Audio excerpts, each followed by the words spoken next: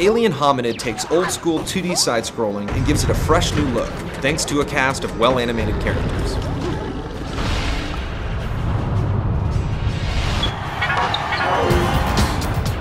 Alien Hominid is almost revolutionary in how unrevolutionary it is.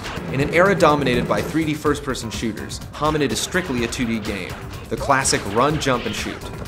While there is some variety, such as taking control of vehicles, the main plan is to blast your way through levels. Gameplay is at times extremely frantic. You are given plenty of lives and continues, and you will need them. Enemies show up in droves, and unless you're wearing the shield, it's one hit and you're dead. However, the lack of strategy is reflective of the 2D side-scrollers Hominid has descended from, where skill is demonstrated by quick reflexes and button mashing. Alien Hominid started as an internet game, but on the PS2 the gameplay can be a bit simple and repetitive. It suffers at times from a lack of level diversity. The bosses do help break things up though, and can be quite challenging.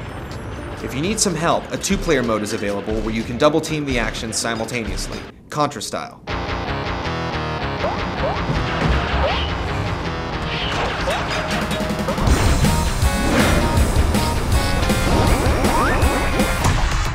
The biggest selling points for Alien Hominid are its style and charm, and this can be attributed to the wonderful character animation.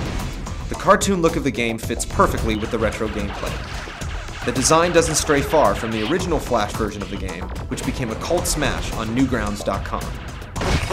The characters are lovable. From the hominid, to the kid, to the bad guys. The backgrounds are a perfect abstract match.